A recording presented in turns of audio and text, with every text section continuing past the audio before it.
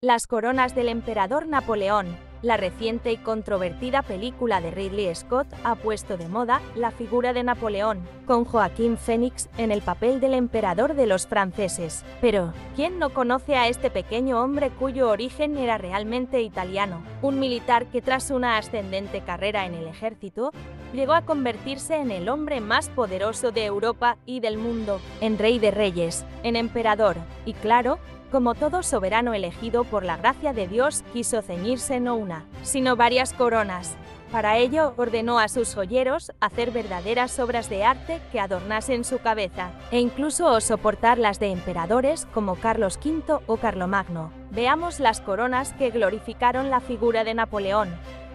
Corona llamada de Carlomagno, 1804 fue realizada para la coronación del emperador. Está formada por ocho arcos de oro adornados con 40 camafeos antiguos, en clara alusión al estilo de la antigua Roma y de los emperadores romanos que tanto admiraba.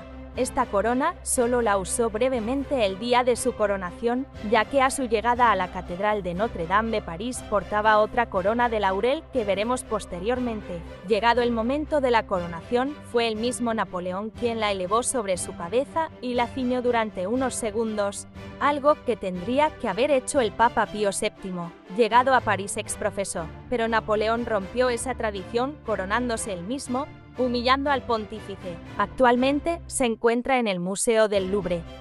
Corona de Laurel, 1904. Esta es la corona que Napoleón usó antes, durante y después de su coronación imperial. Se trata de una corona de laurel de oro, nuevamente inspirada en el estilo de la antigua Roma y de los emperadores romanos. En realidad es una réplica ya que la original fue fundida tras la caída del emperador y la restauración de la monarquía borbónica. Aún así, se conservan dos hojas de laurel de la corona original que se pudieron salvar. Fueron retiradas de ella porque Napoleón encontraba la corona demasiado pesada. Una de ellas fue subastada no hace mucho por más de 600.000 euros. La otra pertenece al Palacio de Fontainebleau. Corona férrea, Italia. Siglo IV. Corona de hierro de Lombardía. Esta joya coronó a 47 emperadores del Sacro Imperio como Carlomagno o Carlos V, ya que junto con el título de emperadores recibían también el de reyes de Italia. Y por supuesto, tras la conquista de parte de Italia, Napoleón quiso ceñírsela como un verdadero César. Nuevamente fue él mismo quien se la puso sobre la cabeza, pronunciando la tradicional frase, Dios me la ha dado, ay del que me la quite. La tradición cuenta que la lámina interior fue forjada con uno de los clavos usados en la crucifixión de Cristo, por lo que es venerada como reliquia. Se conserva en la Catedral de Monza. Corona de Rey de Italia. A pesar de haber usado la corona férrea, Napoleón quiso tener su propia corona como rey de Italia. Es esta sencilla pero bella corona de 1805, de plata sobredorada con cristales de colores en vez de gemas.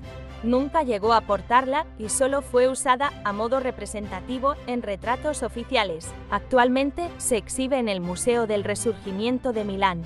Corona de Napoleón III. A pesar de la caída de Napoleón I, unas décadas después, su dinastía recuperó en trono de Francia la figura de su sobrino Napoleón III y su esposa la española Eugenia de Montijo.